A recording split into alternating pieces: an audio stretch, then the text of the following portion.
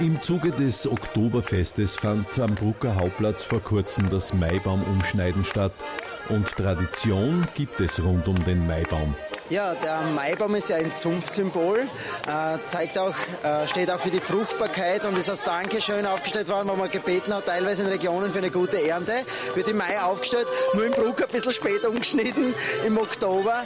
Wir haben aber da verschiedene Faktoren zu berücksichtigen. Es passiert das ganze Jahr sehr viel am Brucker Hauptplatz und der Abschluss ist eben immer dieses Maibaum umschneiden und wir sind besonders froh, dass die beiden Kulturvereine, die Maderecker und wir Rossecker, das seit über 50 Jahren gemeinsam gemeinsam hier am Brucker Hauptplatz durchführen.